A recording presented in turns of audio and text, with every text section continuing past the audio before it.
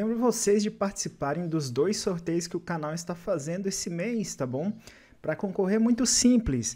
Vou deixar dois links aí na descrição, um para cada sorteio. Basta entrar, seguir as regras bonitinho e você vai estar concorrendo. No final do mês vai rolar o sorteio. Fechou? Boa sorte a todos. Meus amigos, meus amigos, eu estou oficialmente no hype. Enquanto não chega Monster Hunter 6, eu acabei de ver aqui um jogo que saiu na Gamescom que ele tem tudo para ser um, uma espécie de Monster Hunter-like, tá? Que é o Atlas Fallen. Eu fui comunicado por um inscrito aqui do canal e pediu para dar uma olhada nesse jogo. Eu agradeço desde já. Ok? A gente vai conferir juntos aqui. Eu vou trazer para vocês as informações que a gente já tem do game, beleza? Então vamos começar pelo React.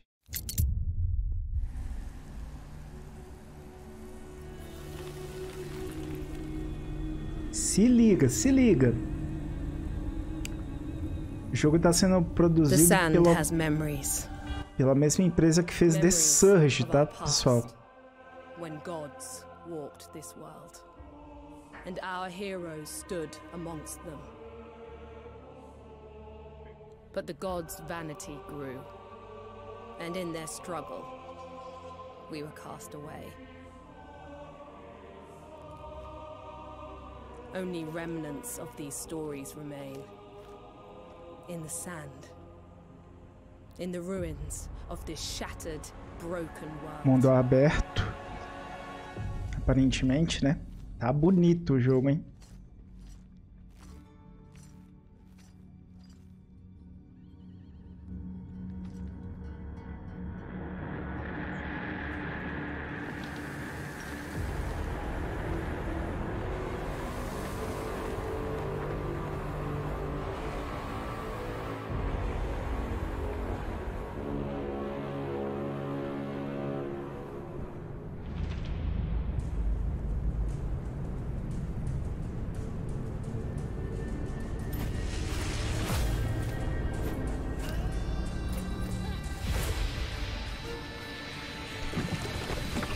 Esse aí vai ser o meio de transporte, né? Nas areias do deserto ali.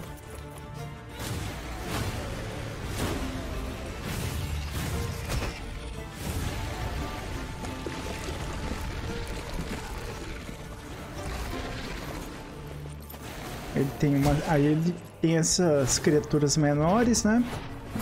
Pode, usa uma espécie de um chicote.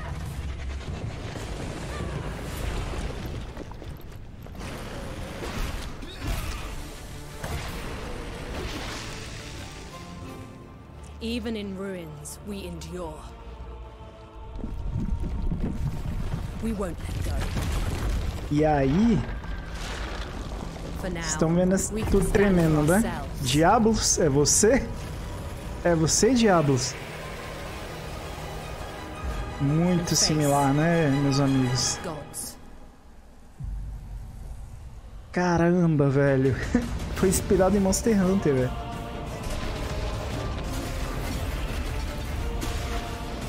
Tá vendo que ele vai ter vários monstros diferentes pra gente enfrentar? Aí tudo bem, você olha assim, será que isso tem a ver com Monster Hunter mesmo? Monster Hunter like, alguma coisa do tipo? Eu vou colocar aqui no site para vocês verem como é que está descrito lá, tá? Deslize pelas areias de uma terra temporal repleta de perigos antigos, mistérios e fragmentos do passado. Caça monstros lendários, usando armas poderosas que mudam de forma e habilidades devastadoras de areia em um combate espetacular e super poderoso. Tá, tá como um ranch mesmo, de caçar a palavra usada. Alveje reúne a essência de seus inimigos para moldar o seu próprio estilo de jogo personalizado, forjando uma nova era para a humanidade. Uma campanha de história totalmente cooperativa, que é o foco de Monster Hunter. Você pode jogar solo ou cooperativo. Ele fala aqui uma história totalmente cooperativa ou solo, igualzinho Monster Hunter, mano. Levante-se do pó, solte a tempestade. Domine as areias para explorar um mundo de fantasia único repleto de segredos. Casse criaturas, hunt, né? Deixa bem claro aqui, casse criaturas lendárias sozinho ou com um amigo em combate heróico e superpoderoso. Libere seu poder para criar armas mortais que mudam de forma. Levante-se como campeão final, com habilidade e habilidades personalizadas únicas, tá? Isso aqui e aí mostra um monstro saindo da terra igualzinho Diablos. Adivinha de onde foi a inspiração, né? É, lembrando que eles já, já fizeram The Surge, então eles são bons de combate. Eles criarem algo legal, meus amigos, meus amigos, isso é bem animador, tá? Tem mais detalhes do jogo que foi revelado no pro PlayStation Blog, eu vou trazer aqui para vocês, tá? Eu vou ler mesmo porque é muita informação. Mas vamos lá. Uh, o sistema de combate é diferente das nossas produções anteriores, isso no PlayStation Blog, tá? Esse, esse foi um dos maiores desafios que enfrentamos e é sobre isso que estou aqui para falar com vocês.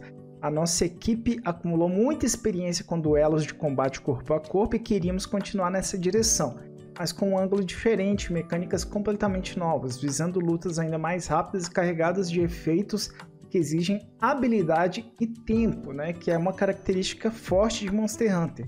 Você precisa de habilidade, você precisa de tempo, timing, é tudo e é por isso que é tão viciante, é por isso que é tão gostoso e não existe outro jogo hoje que faz um combate tão bom quanto o de Monster Hunter, né? E aqui ele fala que, que o foco deles é isso, um combate que exige habilidade, que exige timing, muito, muito positivo, meus amigos. Até aqui, meus amigos, tá indo muito bem, né? A descrição tá bem legal. E vamos dar mais uma olhada, ó. Mantendo uma sensação visceral, bem como certos movimentos que foram essenciais para a série The Surge, o combate de Atlas Fallen é definido principalmente pela velocidade e fluidez. Mantivemos ideias como sistema de segmentação de partes do corpo e sistemas de implantes, usando uma abordagem diferente para melhorar, melhor suportar o aspecto RPG acentuado. Nós levamos tudo um passo adiante na direção de, do gerenciamento avançado de personagem e personalização, né? Que é a parte de build, basicamente. E também um conjunto de movimentos para que você possa abordar o combate à sua maneira. A sensação de jogo é nossa principal preocupação quando se trata de projetar Atlas Fallen, deixamos de lado as restrições estritas de realismo para focar em dar uma sensação emocionante e avassaladora ao jogo. Um dos principais elementos de design para conseguir isso é o Sand Gliding, que é como o herói se moverá pelo vasto mundo de Atlas Fallen. É a chave para o sistema de alta mobilidade do jogo Traz velocidade e verticalidade incríveis para ação espetaculares do combate. Outro aspecto poderoso do sistema de combate vem da manopla do herói. Em vez de usar armas reais, o poder mágico dessa manopla permite ao herói manipular a areia que cobre o mundo e transformá-la em uma arma transformável. Assim, não há necessidade de colocar uma arma de volta antes de tirar outra, e mudar de uma para outra durante o combate se torna uma transição perfeita. Isso leva a dinâmicas épicas orientadas por combos que, por sua vez, alimentam outro elemento central do sistema, que é a barra de momentum. Consiste em um medidor que é preenchido à medida que você multiplica os combos, alimentando progressivamente a manopla para aumentar o dano e as habilidades extras. Dá uma sensação maravilhosamente avassaladora aos seus ataques. Para resumir, Estamos explorando até onde podemos levar um sistema de combate baseado em velocidade, agilidade e dinamismo. E com isso, pode ser combinado com um mundo de RPG que oferece muita exploração. Achamos que é muito divertido e temos certeza que você vai adorar matar feras extraordinárias com o poder da areia. Então, meus amigos, essa é a proposta do jogo, tá? Assim, se tem um ponto que eu gostei é que ele parece se inspirar por outro lado, algo que me deixa um pouco pé atrás é que eu não sou tão fã assim de combate que é focado somente em combar, combar infinitamente, saca? Um dos brilhos do Monster Hunter é, é a cadência da luta cada, que cada arma possui, é uma bem distinta da outra, e você consegue. Você tem que, que jogar bastante para se adaptar né, a cada arma, e isso faz o jogo ter algo que jogo nenhum tem, né? Esse negócio de quando começa a, a combar demais e, e fazer tudo explosivo e sabe, para mim não tá o, o, brilho da coisa não tá aí. O brilho tá nas nuances, né? Quando o combate ele parece que você tá numa sinfonia com o monstro, tá ligado? Que ele é tão bem cadenciado, tão bem pensado que fica maravilhoso. Mas caras, de qualquer forma, vamos deixar esse jogo no radar.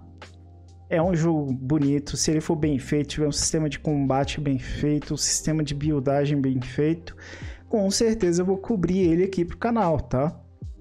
Essa é a ideia. E imagino que vocês tenham ficado felizes também de, de saber dessa novidade, né?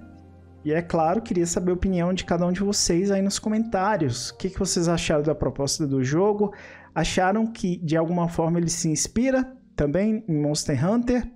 né, pela descrição e pelo próprio monstro ali que ficou meio que na cara, né, surgindo da terra, como lembrou o Diablos, né? No mais, meus amigos, agora eu quero saber muito a opinião de vocês, a gente continua a discussão aí nos comentários. Se você quiser apoiar o meu canal, não esquece de dar uma olhadinha e tem a opção de se tornar membro, tá? É uma forma de você apoiar o conteúdo de Monster Hunter aqui no Brasil, que é um negócio bem nichado, tá? É uma forma de você ajudar, ajuda demais mesmo. E eu sempre deixo os links da Amazon também, outra forma de apoiar sempre que você comprar qualquer produto na Amazon, entra aqui no canal, vai em um dos links da descrição, acessa a Amazon, compra qualquer produto lá que você me ajuda muito. Fechou? Então é isso, não deixe de participar do nosso sorteio aí. Vai rolar agora dia 31, tá chegando já a data. De repente você ganha, ou você pode presentear algum amigo e trazer mais um amigo aí pro universo Monster Hunter, fechou? Então, até o próximo vídeo. Valeu, fui!